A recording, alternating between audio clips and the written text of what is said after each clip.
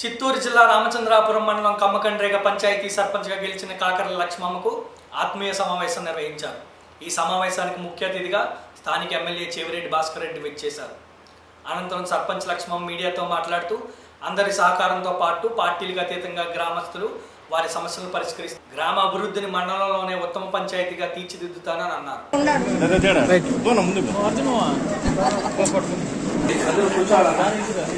ప్రయత్నం ప్రజలు ఎన్నుకున్నటువంటి ప్రజాప్రతినిధుల నుంచి ప్రారంభం కావాలి.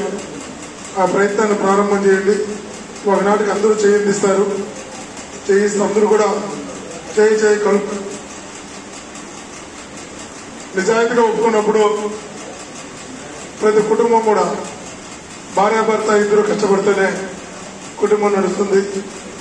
పిల్లలకు భవిష్యత్తు ఉంటుంది.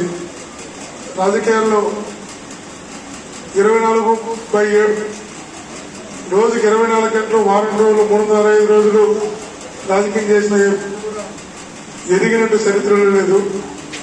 ఎన్నికలైన తర్వాత కుటుంబానికి ఫస్ట్ ప్రాధాన్యత కాబట్టి రాజకీయాల కోసం గ్రామంలో ఏ రకమైనటువంటి మనస్పర్ధలు లేకుండా ఉంటే ప్రశాంతంగా అందరూ కూడా ఎదగచ్చు. అన్ని రకాలు కూడా అభివృద్ధి చెందొచ్చు. కాబట్టి మరలా మరలా విజ్ఞప్తి చేస్తున్నా ఈ గ్రామాన్ని బాగా అభివృద్ధి చేద్దాం. ప్రభుత్వం ప్రతి అందరికీ కూడా అందిద్దాం.